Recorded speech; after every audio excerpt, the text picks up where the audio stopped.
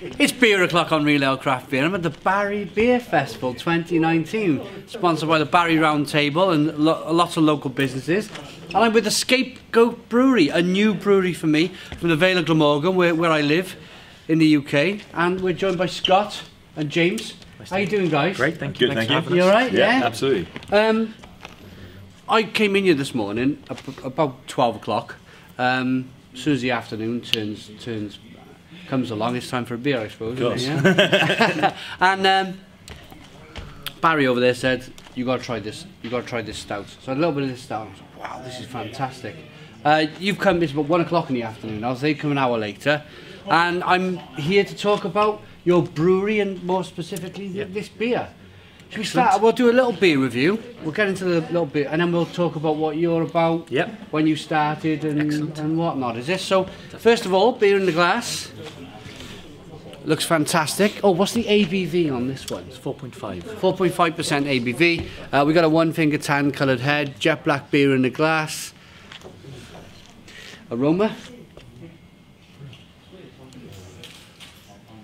I mentioned earlier on, I asked you have you put any kind of like cacao nibs or anything like, anything like that in the beer, and you were like, no, it's just roasted malt. There's a lovely aroma of like an espresso coffee, and that just comes from the, the roasted malt. Just From the roasted malts, Yeah. yeah. Yeah? We put uh, a little bit of wheat to retain the head. Yeah, Um, but yeah, chocolate malts and the roasted barley is the main two. really, really good.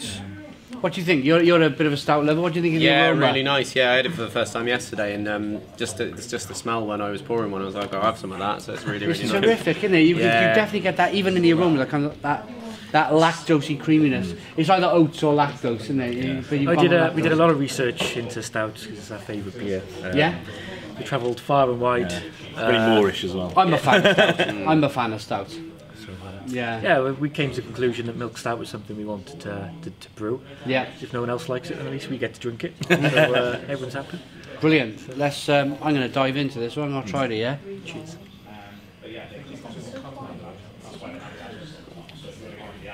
First thing you get, um, I, I've seen this from a keg, but you can definitely get the sense of this being from a keg. It's lovely, creamy, nice depth to it, a nice chill to it as well. That's what you get with keg beer, a nice kind of, a nice slightly chilled beer, which you need that, don't you? The session. It's one o'clock in the afternoon.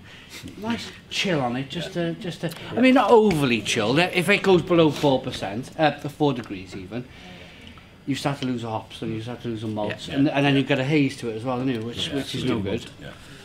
What I reckon this is about five or six to our viewers, five or six degrees. Yeah, would you say? Must be. Yeah. Must be. Yeah. And that's perfect. That's, Yeah. that's perfect. That's, but then moving on to the flavours, or, or first of all the mouthfeel, nicely nicely carbonated beer. The beer washes around the inside of the mouth, releases more of that flavour. It's a rich kind of mouthfeel of chocolate, coffee, caramel, um, espresso coffee. And then there's a nice bitterness on the end. What hops did you use um, to Uh, it's bitter the it? Fuggles um, and the Challenger. Challenger and Fuggle. So traditional British hops then? yeah. Yeah? Uh, Fantastic. obviously, you know, being a milk stout, traditionally, course, we, uh, yeah, yeah. To, to try and replicate a, a British milk stout. Yeah, it, it's a really, really good. I'm really impressed by this beer, guys. I'm really impressed. Was it your first beer? Uh, One the of, one not of, the- not yeah. the very. Um, Yeah. So this is what will be available all year round. So we'd like to do seasonal things as well, but um, you know, the, as with the APA, this is one of our core beers. Right. will be available all year. I'll try that next, the APA. Okay, so that was the quick beer review. Terrific beer. Just off, uh, just as a quick beer review, I'm going to give that a, a nine out of ten. That's a really good example of a, a milk stout. Well done, guys. It's really good. Um, so the brewery, Escape Goat Brewery. I've spoken to many brewers over the years. Was this a maybe uh, after a few beers in a bar, written on the back of a uh, a, a, a, a bar mat. You like, let's think of a name. Was it that? type It of sounds like we don't have to give the answer. Yeah, uh, it was absolutely that. We were sat drinking. Um, I think it was stout. We were drinking Yeah, at the time actually, Yeah. and we wanted a, a fun name because drinking should be fun. Yeah. Um, so we thought, well, a pun would be fun. So we, you know, we took the word scapegoat, thought scapegoat, but also the point of the escape bit is we want the beer should be escapism as well. Yeah. So it should be taking you somewhere else. So what we want to be doing is brewing beers with it, like a hint of a taste that takes you somewhere else. Yep. So that was the idea of the scapegoat pun, bit of fun in it, and also the like kind of escapism. But I like your branding as well. It's really Yeah, yeah. nice. It's kind of it's nice to say to people. Uh, one of the things I, I, I know these days is when you go into either a bar or a bottle shop, there's so much competition these days. Your beer needs to stand out, doesn't it? And I like that. That that really kind of that grabs you. Yeah. That that branding. Um, when did you start? Uh, well, I mean, the first initial conversation was, I think, April, May time. Yeah. Um, this year. Yeah. Wow. Although we've been talking about doing it for talking it years, for years. ideas Yeah, for yeah. years, but in, Um, the sense of actually doing it, yeah, Yeah, yeah. We, I Okay. think we had that one pint too many, and we really went through it. It's this brilliant. Time. It's brilliant. I mean, you've got. I, I still think there's room for many breweries, Yeah. especially in the Yeah. South Wales area. I think there's loads of room. We're still booming as an industry. A- As you can see here, there's, there's people interested. We're going to do some meet the brewer events in a bit, and it's all about educating. Absolutely. It, it's moving away. Let, let's let's cover a, a dark bit, a stout. Yeah. It's about moving people away from Guinness. Exactly. And- it's about working together in that, isn't it? Not competition between. You know, I was, I was, you know, around several bars last night, little local ones Yeah. in the Canton area. You know, gi- giving them money back. You know, it's not, um, it's not Absolutely. about competition between, is it? The St Canna's Ale House, is that where you I mean, were? one of the places I was. Yeah. I was in him on Thursday night Right, in, in the. Great Welsh Beer and Cider Yeah, Festival yeah, judging. yeah. What's his name? I can't remember his name. I can't think of his name. Yeah, anyway. He's welcome to put it on though. Oh, yeah. I mean, I, I'm sure. I'm pretty sure he would. I mean, if you went in there with a barrel list, I'm sure he'd take it off you. Um, so you started this year. Um, What are your? You got an APA, American Pale Ale. American Pale Ale, we have a Pilsner, uh, and then the, the milk stout. I'll be interested to try a Pilsner. I've discovered Pilsner this year. It's been my. I've almost gone full circle. Hmm. I spent 10 years drinking bitters, then then then American style, Yeah. New England IPAs, Yeah. and this year I found. I fallen in love with really good Pilsner. I think there's Really uh, Pilsner. a little revol- Yeah. Pilsner revolution Yeah. on as well. Good summer drink as well. Nice Yeah. refreshing. Yeah. Well, what do you think? Um, what do you think of the beer? Do you like it? I really like it. It's, it's so smooth. We were saying this yesterday. Just it's. I've had uh, quite a few stouts, and sometimes they're a bit too heavy. Yeah. It's actually quite light, uh, but still has that really deep, rich flavour, which is, Yeah. a, is a nice change. Lovely, and it's a stout that you feel like you can drink all day. Absolutely, yeah. I don't feel Yeah. full after. No, no, a few no, sips, absolutely you so it's quite yeah. Some Blue cheese you there, so you'll feel full. All right. Okay. So you got a Pilsner, American Pale Ale, and this wonderful milk stout. Milk stout, yes. Wh- What's your plan? Oh, first of all, brewery size. What? Uh, so at the moment we are going to breweries and saying, can you brew us this recipe? So we're, you know, Oh, you yeah, did I'll gypsy brew. Gypsy, Wicked, yeah, brilliant, yeah. brilliant, brilliant. But there's a next step, isn't there? There is a next step, yeah. We, we more than want to have our own with a tap Yeah. room. You know, that, is Yeah. our, that is our goal. And we're actively looking now. So, Phoning up farmers, so on, looking yeah. for old milk containers and. Yeah, that sort of yeah, thing. yeah. Wicked. It's, uh, it's in progress. I've seen many brew, yeah, and it's the best way.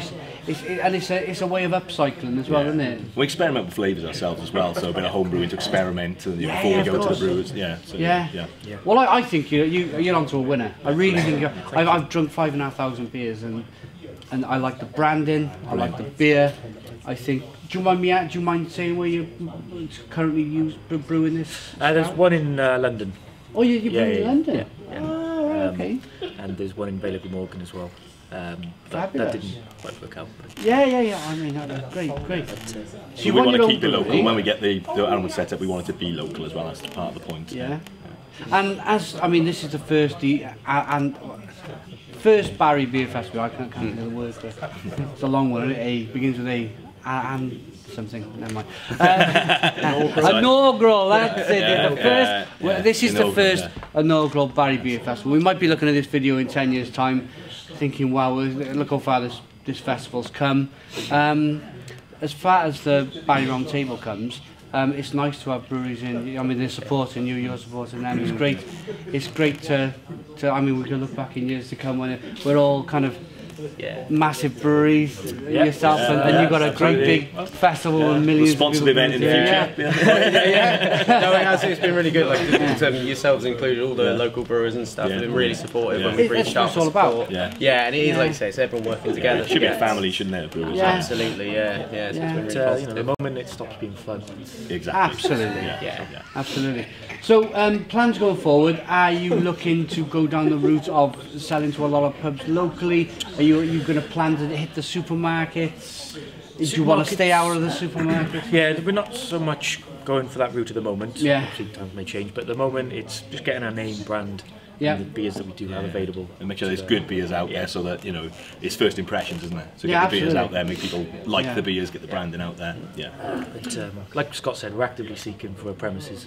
Brilliant. So um, In, in Barry, maybe? 'Cause We're, we're, we're from Barry. Uh, Area, the very, Barry uh, Cardiff area, yeah. Ah, cool, cool. Fabulous. Um, and b- beers going forward, what, what plans? I bet you got a load written on the back of a beer. More beer. stouts for Yeah. More stouts. We've got um, uh, brewing a Munich Dunkel at the moment. um, so yes, uh, a a little bit late to come out, but Yeah. you know, Yeah. uh, and I've just finished off uh, Belgian beer as well. Yeah. Can I put a request in?